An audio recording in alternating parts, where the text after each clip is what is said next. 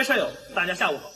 欢迎收看由我给大家带来的本次飞翔房车俱乐部的相关的房车视频介绍。我是飞翔房车俱乐部的王兴。近期，飞翔房车自主设计并制作的航空座椅受到了广大车友们的热爱。那么，在大家喜欢它的这个呃原因呢，大致有三点。首先，第一点呢，因为它有良好的一个包裹性。那么第二点呢，是它的靠背可以任意的调节，并且还有了电动土坡的功能。那么当我们在长时间户外出行的时候呢，会缓解了我们旅途当中的行车疲劳。那么第三点呢，航空座椅呢，飞扬房车自主研发的这款航空座椅呢，它跟传统上的座椅呢还有不太一样的地方。那么也是车友们喜欢它的第三个亮点。那么它第三个亮点呢，就是在原有的基础上还加了一个侧滑的功能。那么当两个人同时在航空座椅上坐着的时候呢，在行车的过程当中，因为加了一个侧滑的功能呢，让两个成年人同时在乘坐的时候呢，这种舒适感会更加好一些。那么飞翔房车自主设计并制作的这款航空座椅到底？和传统上的航空座椅有什么不一样的地方呢？那么大家跟着我镜头和我一起呢走进飞翔房车的包覆车间以及五金车间，我们来看一下这款航空座椅从焊接到包覆以及到上车上装完成是怎么样的一个环节。因为呢，我们想只有让车友们知道了。大家看不到的一些个组件的一个生产过程，那么当大家在选择的过程当中呢，大家才能够做到放心，才能够舒心的进行使用。所以呢，今天呢，我们就来到了我们的车间，来到了我们的包覆车间。下面呢，我们一同走进我们的包覆车间，看一下航空座椅是如何诞生的。下面呢，我们来到了位于飞翔房车的包覆车间。那我们能够看到，在我们的包覆车间里面有已经成型做好的。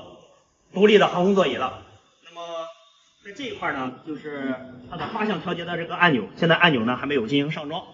那么在这个两边呢，大家可以看到，工人师傅呢已经把头枕也给这个放上去了。这个由飞翔房车已经做好的成品的这个航空座椅呢，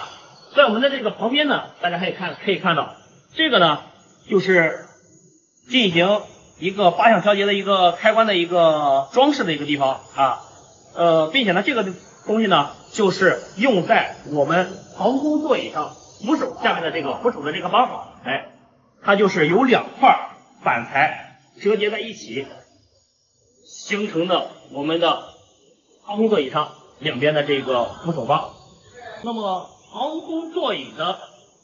表层呢，在这个位置呢，大家能够看到。它是一个针孔的透气式的一个设计，那么这样的情况下呢，当我们坐的时间长了之后呢，也不会因为座椅的不透气而导致的这个不舒服。那么航空座椅的里面以及靠背，它是由什么样的结构造成的呢？待会儿呢，我们一同走进五金车间去看一下航空座椅的框架是如何形成的。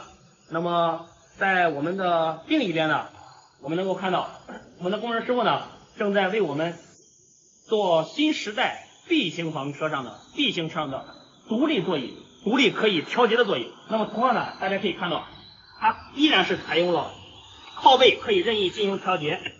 靠背任意可以调节。只要您轻轻的扣拉一下这个扳手，哎，我给大家展示一下，大家可以看一下，它的靠背呢依然是可以任意调节的。那么同时呢，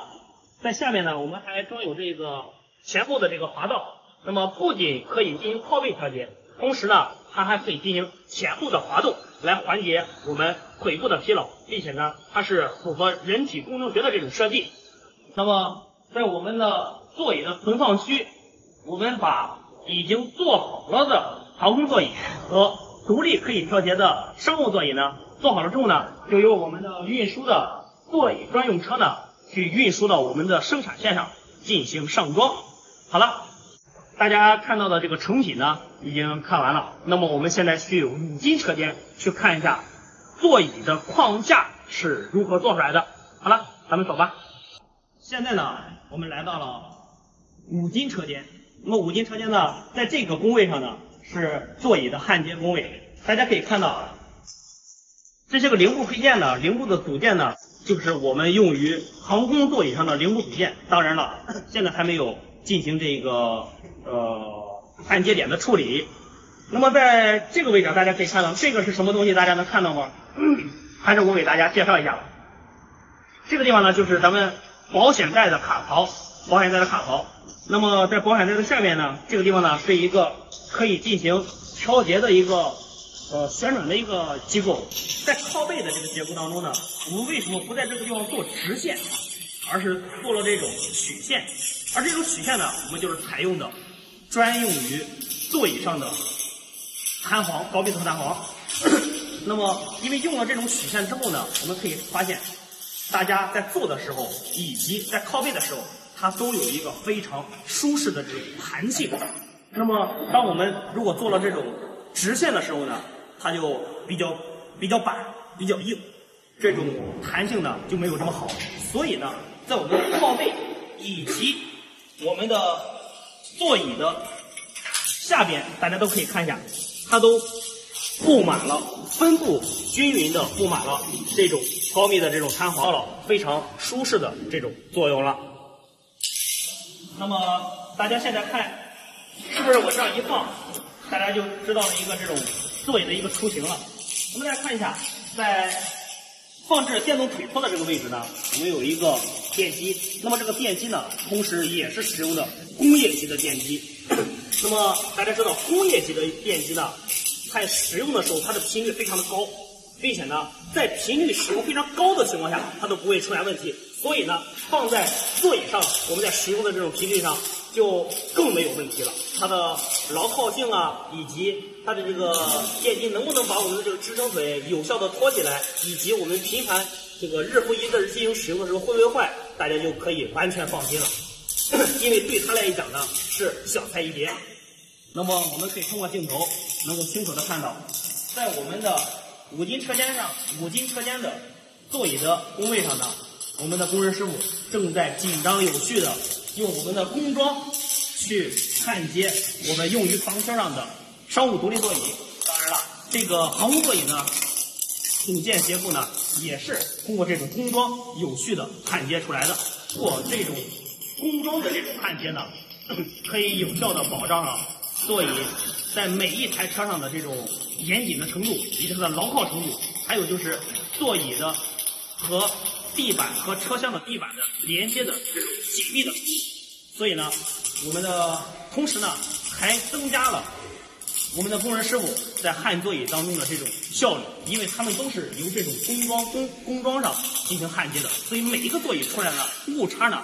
基本上是呃很小的误差。那么只有这样。焊接出来的这个座椅呢，在装到车上，在我们行走的过程当中，它才能够做到不会有异响，并且呢，它的这种质量的这种可靠程度呢会更高一些。经过了刚才我们在五金车间、在包覆车间带大家看到的座椅航空座椅的形成，那么现在呢，展现在大家面前的，就是再熟悉不过的飞翔房车自主设计制作的航空座椅的成品了。大家可以看到。通过右边的八下调节的电动按钮呢，我们可以看到腿托呢轻轻的就抬动起来了。再通过一个指示往前，那么呢，刚才我们看到的工业级的电机它就在工作了。那么再给它一个指示，当我们靠位调节的时候呢，哎，它更有效的保障了我们在长途旅行过程当中降低了我们在旅行当中的疲劳。同时，刚才还给大家有介绍一个，也是车友们比较喜欢的一个，就是它跟传统上的航空座椅的不太一样的地方，就是我们又给它加了一个侧滑的功能。你看，当我们给它一个指示的时候，它就开始侧滑。那么在这种情况下，大家想一下，两个成年人在长途旅行的时候，大家在坐的时候就不会导致手这个手臂呢和另一个人的手臂进行这个摩擦了。那么在长途。这个行车的过程当中呢，它的这种乘坐感会更加舒适一些。近期有很多的房车车友们以及飞扬房车俱乐部的粉丝们，通过私信评论的方式呢，给我们进行留言。大家说，飞扬房车的航空座椅被某某厂家模仿了，被某某厂家也用在了这个其他品牌的房房车上。呃，其实呢，当听到这个这个声音的时候，听到这个种消息的时候呢，呃，我们是非常开心的，因为我们的航空座椅被市场所认可，被车友们所认可。所以呢，当其他的房车厂家在使用在他们的其他的品牌上的这个房车上的，同样也是使用这种航空座椅的时候呢，我认为这是非常开心的一件事情，因为越来越多的厂家当使用航空座椅的时候。使用这种创新的、实用的这种设计的时候呢，最终是我们的车友们在受益，是我们的车友们在选择房车的时候更加多了一份参考。当大家 在使用这种房车的时候，大家才不会再进行二次的改装，因为在很多车友们当中，大家都有对座椅的需求，还有的是对这种环形的卡座。大家在拆了进行二次改装，这种事情呢屡屡发生。所以呢，如果说能够做到我们选择了一台房车之后不进行二次改装的话，那真是一件太好的事情了。所以呢，我们认为其他房车厂家也去做航空座椅，增加了这种配置是非常好的一件事情，是让我们的车友在在我们选择房车的时候能够。避免二次升级、二次改装，去花这个冤枉钱的一个过程。当然了，飞翔房车呢会一直在房车创新以自主研发这个领域当中呢，我们会一直做下去，并且一定会越做越好。那么也非常感谢飞翔房车俱乐部以及咱们车友们一直以来对飞扬房车的支持，欢迎大家在下方进行留言、进行评论。呃，同时呢，也欢迎大家把好的一些个意见建议呢反馈给我们，我们会给大家进行一一的回复。感谢大家对本次节目的观看，我们下期节目再见。